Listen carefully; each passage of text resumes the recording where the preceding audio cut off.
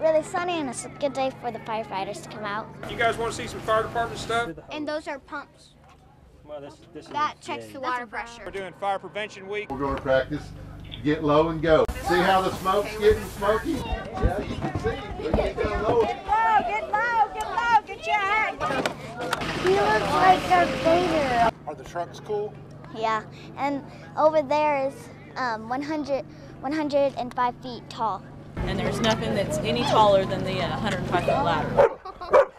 A Cypher is a search and rescue dog. The dog knew German. If I wanted to stay, I say bleib. It was fun seeing it jump on the table. Hop. Good.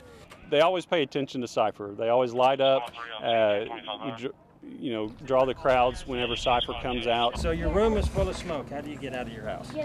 You got crawl as low as you can Thank you, thank you so much for this opportunity. Guys are dismissed. Thank you.